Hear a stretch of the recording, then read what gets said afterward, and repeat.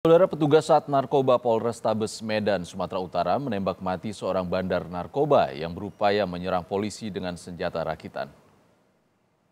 Dari tangan pelaku, polisi menyita 7 kg sabu dan satu buah pistol rakitan. Pelaku yang berjumlah tiga orang ini ditangkap dari dua lokasi berbeda, yakni di kawasan Medan Tembung dan di kawasan Seimen Cirim.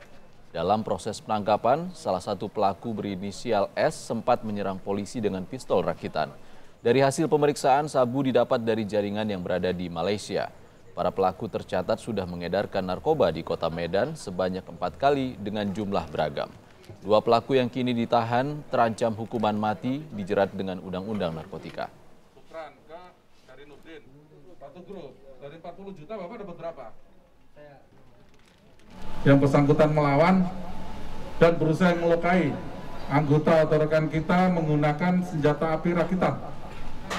Kemudian rekan-rekan Satres Narkoba melakukan tindakan tegas terukur daripada melumpuhkan tersangka kemudian dibawa ke rumah sakit sampai rumah sakit tidak tertolong dan dinyatakan meninggal dunia.